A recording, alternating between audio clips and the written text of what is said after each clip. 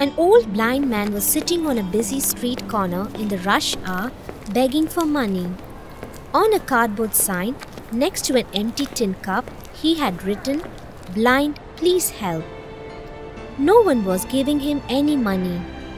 A young advertising writer walked past and saw the blind man with the sign empty cup and also saw the many people passing by completely unmoved, let alone stopping to give money.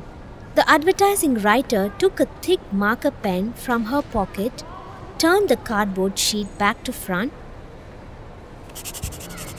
and rewrote the sign, then went on her way.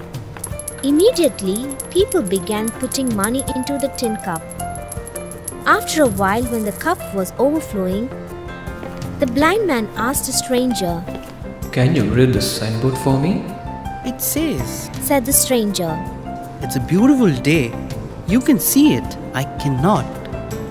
This story illustrates in a timeless way how important choice of words and languages when we want to truly connect with and move other people.